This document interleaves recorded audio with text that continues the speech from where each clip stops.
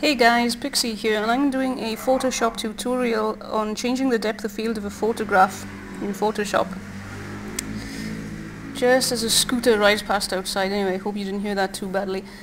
Um, so this is the original image, it's pretty boring, and this is the image after I'm done processing it. Now I'm not going to do the full thing here, all I'm going to do is show you uh, a little bit of painting with light and shadow and how to change the depth of field. If you look in this image on the left, it's all in focus, and on the image on the right, this bit down here is blurry. So that's what I'm going to show you how to do. First thing we need to do is duplicate our background layer. So just drag that layer down to the new layer button and it makes a copy. Then go to filter, blur, add a Gaussian blur, as strong as you like. I'm not going to make it too strong, let's go there.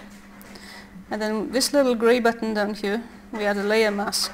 The layer mask in white is opaque, so it shows the uh, filter you've applied. And if we invert it, oops, wrong button, if we invert it, the blur is still there, but uh, it's made the layer transparent, so it's obscured the blur, so you can't see the blur now.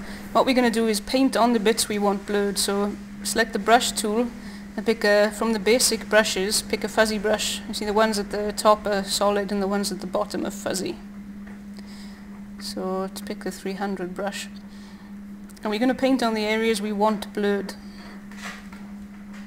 Uh, we're painting on in white.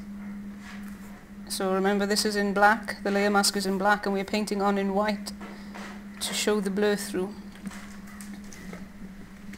If I just uh, make my brush opacity 100,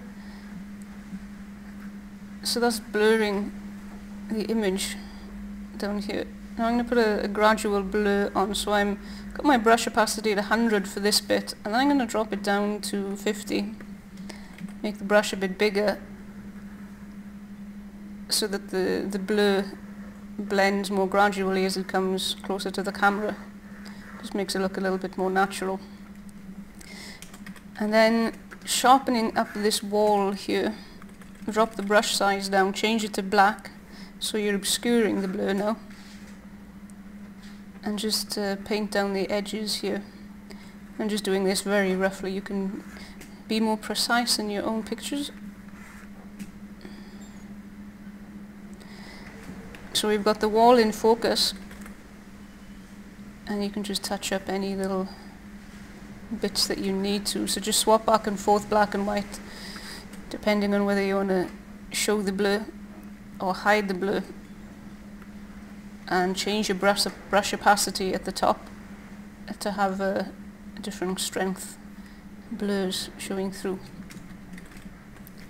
So that's how it looks. And the other thing I said I was going to show you was painting with shadows and light. So if I merge these layers, down here let's go to brightness contrast. Change the brightness down and make it a little bit more contrasty. Um, I'll invert this layer, Control I is the hotkey for that to uh, hide it and then I'm going to keep the opacity low and paint on some shadow. So we've made the, the background image darker and hidden it. So now we're going to paint in the dark bits again. So let's make this whole wall down here darker because that's down a side street and there should be less light down there. And let's make this foreground area a bit darker. And the pavement's kind of light, so let's make this darker, which will add in a little bit more contrast too.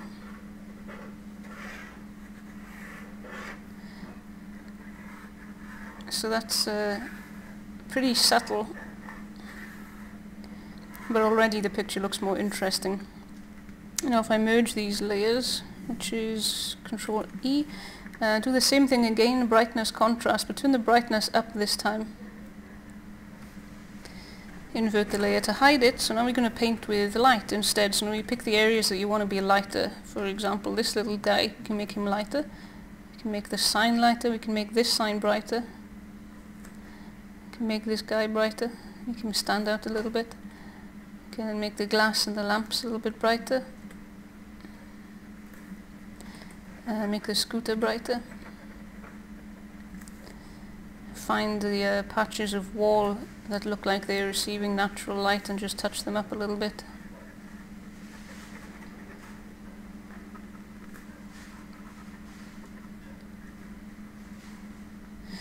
And that's pretty much it. So you can do a lot of things with layer masks. And just remember, if you've got the mask in black, it hides what you've done to the layer, and if you put it in, in white, it shows what you've done to the layer and always pick the opposite colour brush to paint on to show the effect through and change your opacity to show the effect in different strengths. So hope that was easy enough to follow. Thanks for watching. Bye!